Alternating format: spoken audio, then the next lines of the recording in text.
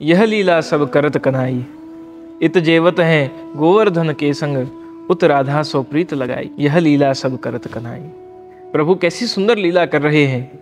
जहाँ एक बाजू तो शैलोस्मी कहकर और श्री गिरिराज जी के स्वरूप में प्रविष्ट हुए हैं और श्री गिरिराज जी को स्वयं का स्वरूप का दान किया। और दूसरी ओर देखा तो श्री राधा जी के साथ, अपनी सखियों के साथ ब्रज भक्तों के साथ आप बात कर रहे हैं। प्रभु की ये लीला गोवर्धन लीला है, जहाँ इंद्रयाग को रोक कर और प्रभु ने गिरियाग करवाया। समग्र ब्रजमंडल अपने घर घर से जो सामग्री जिस प्रकार से उपलब्ध थी, सब सुंदर सामग्रियाँ सिद्ध करके कोई दूध घर कोई नागरी, कोई अनसखड़ी, कोई सखड़ी, बड़ा मंगोड़ा, पकौड़ा, सखड़ी के विविध प्रकार, कढ़ी, दाल आदि, सब सामग्री, अनेक विध प्रकार की इन सामग्रियों को, यानी कि ब्रज भक्तों के भाव को प्रभु ने श्री गिरिराज जी के स्वरूप से स्वीकार किया।